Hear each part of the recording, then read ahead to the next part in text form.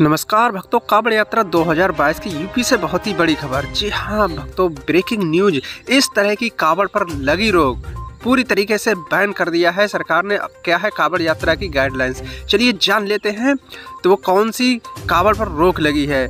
इससे पहले आपसे छोटी सी रिक्वेस्ट है, अगर अभी तक आपने इस यूट्यूब चैनल को सब्सक्राइब नहीं किया तो इसे सब्सक्राइब कर ले अगर आप सिर्फ़ भक्त है तो इस यूट्यूब चैनल को ज़रूर सब्सक्राइब कर लेंगे। और साथ साथ आप हमें बताइए कि आप इस कहाँ से कहाँ तक की कावड़ यात्रा करने वाले हैं और आप कहाँ के रहने वाले हैं? तो कमेंट्स करके ज़रूर बताएँ, ताकि सभी श्रद्धालु को इसकी जानकारी हो सके। तो चलिए अब आपको देते हैं पूरी जानकारी। 14 जुलाई 2022 से शुरू हो रही कांवड़ मेले को लेकर उत्तराखंड और उत्तर प्रदेश पुलिस और प्रशासनिक अधिकारी की डाम कोठी में बुधवार को बैठक हुई। इसमें कांवड़ मेला सकुशल प्रसन्न कराने के लिए अधिकारियों ने अपने अपने सुझाव दिए। इसमें कहा गया कि दूसरे जिलों से हरिद्वार आने वाले सिर्फ़ भक्तों की सूची बनाई जाएगी और सीमावर्ती जिलों में साझा की जाएगी।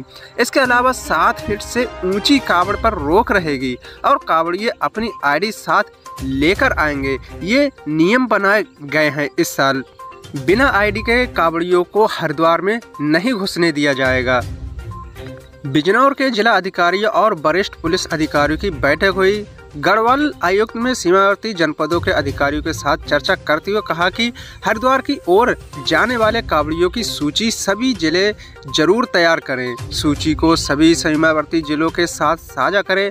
आकस्मिक समय पर इससे काफ़ी मदद मिल सकती है। उन्होंने कहा कि सुरक्षा और भीड़ नियंत्रण बड़ी चुनौती है, इसलिए विशेष ध्यान देने की आवश्यकता है। गढ़वाल आयुक्त ने कहा कि कावड़ की ऊंचाई अधिक से अधिक सात फीट होनी चाहिए, ताकि यात्रा में परेशानी ना हो खड़ी।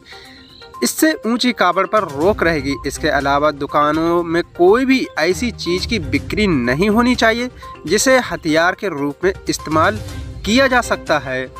खंजर जैसे हथियारों पर, धारदार जैसे हथियारों पर, इन पर पूरी तरीके से बैन कर दिया है। मेला में इसकी बिक्री नहीं होगी। अगर कोई ऐसा करता हुआ, बेचता हुआ पाया जाता है तो उसके खिलाफ सख्त कार्रवाई की जाएगी। कावड़ियों के लिए पहचान पत्र लाना ज़रूरी होगा। जिला अधिकारी हरिद्वार विनय शंकर पांडे ने बताया कि 14 जुलाई से 27 जुलाई तक कावड़ मेला चलेगा। उन्होंने कहा कि इस साल कावड़ियों की संख्या चार करोड़ से भी अधिक हो सकती है। एसएसपी डॉक्टर हरिदी द्वार डॉक्टर योगेंद्र सिंह रावत ने कहा कि यात्रा पर आने वाले कावड़ी अपने साथ कोई ना कोई पहचान पत्र अवश्य लेकर चले। रोड साइड से भी सभी दुकानदार अपनी असली आईडी ज़रूर रखें। आपको बताते चले कि जुगाड़ वाहनों पर रहेगी रोक।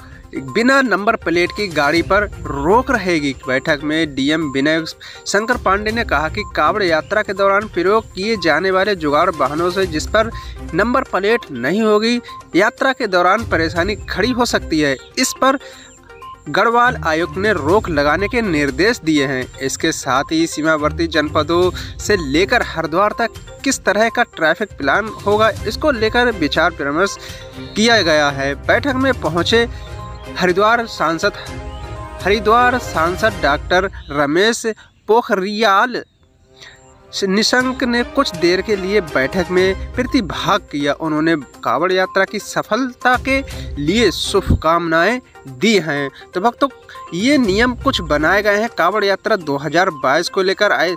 खंजर और जुगाड़ वाहनों पर रोक रहेगी। साथ फिर से ऊँची कावड़ बनाने पर भी पूरी तरीके से प्रतिबंध कर दिया गया है।